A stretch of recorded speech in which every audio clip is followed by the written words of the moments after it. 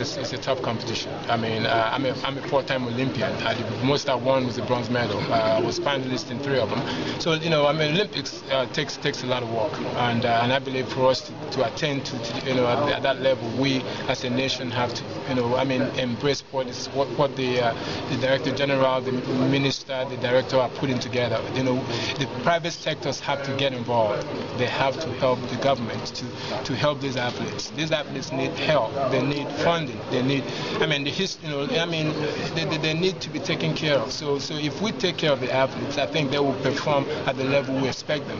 There's not, we don't have much time, so the earlier we start, the better for the nation. But again, too, through, through it all, I ask you as pressmen, you know, and women to, you know, to, to give your best as well, and, and, and I ask the nation to, to prayerfully, you know, pray for these young men and women because it's, it's a tough task. I mean, to, to be the best in a country and stand before in, you know, the world to compete for a country is not easy. I mean, you might see it on TV, it looks easy, but believe me, it takes a lot of butterflies, a lot of preparation, a lot of hard work, a lot of you know tension, discipline. The list goes on. So we need to understand that this is not about you know about winning. It's about preparation. If we prepare, you know, uh, uh, let's keep this in mind.